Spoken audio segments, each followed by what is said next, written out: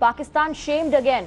Now, while Pakistan gives a free run to 2611 mastermind Hafiz Saeed, the United Nations Security Council's consolidated list of terrorist individuals and entities includes 139 from Pakistan.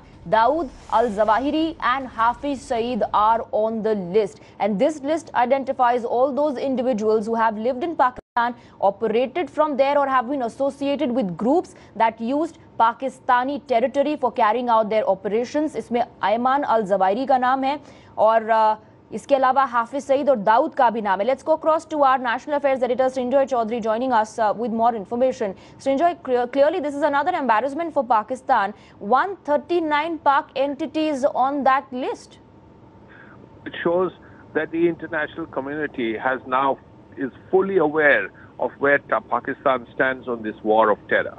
First of all, Pakistan is the centerpiece of as far as terror is concerned. And all these terror organizations appear to have a link in Pakistan.